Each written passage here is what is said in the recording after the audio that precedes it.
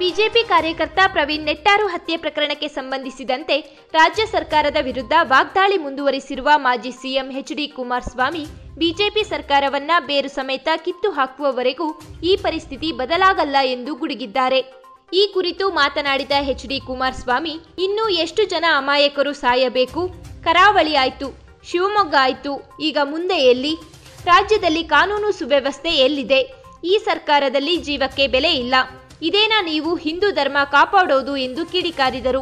ಹೆಂಡತಿ, ಇವತ್ತು ಇಂಥ ಪರಿಸ್ಥಿತಿನಲ್ಲಿ ಆ ಒಂದು ಯುವಕನ ಹತ್ಯೆ ಏನಿದೆ?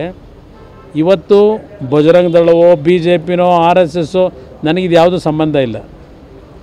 ಇವತ್ತು ಎಲ್ಲರೂ ಒಂದು ಕ್ಷೇಮವಾಗಿ ನೆಮ್ಮದಿಯಿಂದ ಬದುಕ್ತಕ್ಕಂಥ ವಾತಾವರಣ ಸರ್ಕಾರದ ಕೆಲಸ ಮಾಡಬೇಕಾಗಿರೋದು. ಇಲ್ಲಿ ಮುಖ್ಯಮಂತ್ರಿಗಳು, ನನ್ನ ಮನಸ್ಸು ಕಲಕ್ಬಿಟ್ಟಿದೆ ಆ ತಾಯಿಯ ರೋದನ ನೋಡಿ ಇದನ್ನು ಹೇಳ್ತಕ್ಕಂಥದ್ದು ಇದೆಯಲ್ಲ. ಆ ತಾಯಿಯ ರೋದನ ಆಗದೇ ಇರತಕ್ಕಂಥದ್ದು ನಿಲ್ಲಿಸ್ಲಿಕ್ಕೆ ಸಾಧ್ಯ ಇಲ್ವೇ? ಎಷ್ಟು ಜನ ತಾಯಂದರು ಈ ರೋದನ ಇವತ್ತು ವ್ಯಕ್ತಪಡಿಸಬೇಕು? ಆ ನೋವಿನಲ್ಲಿ ಇವತ್ತು ಬದುಕಬೇಕು? ಎಲ್ಲಿಯವರಿಗೆ ಈ ರೀತಿಯ ವಾತಾವರಣ ನಿರ್ಮಾಣ ಮಾಡ್ತೀರಿ?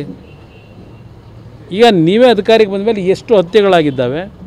ಅದಕ್ಕೆ ಎಷ್ಟೆಷ್ಟು ಮಟ್ಟಿಗೆ ಈಗ ನಿಮ್ಮ ಶಿವಮೊಗ್ಗದ್ದನೇ ಹತ್ಯೆ ಆದ ನಂತರ ಯಾರೋ ಮೂರು ನಾಲ್ಕು ಜನನ ಅರೆಸ್ಟ್ ಮಾಡಿದ್ರಿ.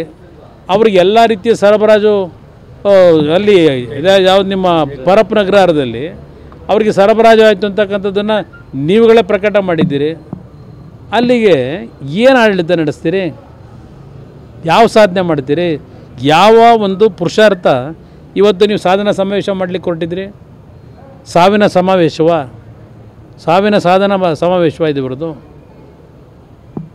ಎಷ್ಟು ಜನ ಸಾಯ್ಬೇಕು ಇವತ್ತು ಅಮಾಯಕರು?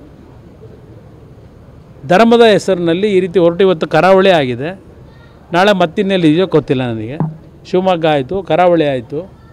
ಇದಕ್ಕೆ ನೀವು ಆಡಳಿತ ನಡೆಸಬೇಕಾ? ಇದು ನೀವು ಧರ್ಮ ಕಾಪಾಡೋದ? ಇದು ನಿಮ್ಮ ಹಿಂದುತ್ವ ಕಾಪಾಡೋದ ಈ ಸರ್ಕಾರದ್ದು? ಹಿಂದುತ್ವ ಕಾರ್ಡ್ನಲ್ಲಿ ಮತ ಪಡೆಯುವ ಲೆಕ್ಕಾಚಾರ ಬಿಜೆಪಿಯದ್ದು. ಸಾವುಗಳಾದರೆ ಅಧಿಕಾರ ಪಡೆಯಬಹುದೆಂಬ ಪ್ಲಾನ್. ಬಿಜೆಪಿ ಸರ್ಕಾರವನ್ನ ಬೇರು ಸಮೇತ ಕಿತ್ತು ಹಾಕಬೇಕು. ಅಲ್ಲಿವರೆಗೂ ಈ ಪರಿಸ್ಥಿತಿ ಬದಲಾಗಲ್ಲ ಎಂದು ಎಚ್ಡಿಕೆ ಹರಿಹಾಯ್ದರು.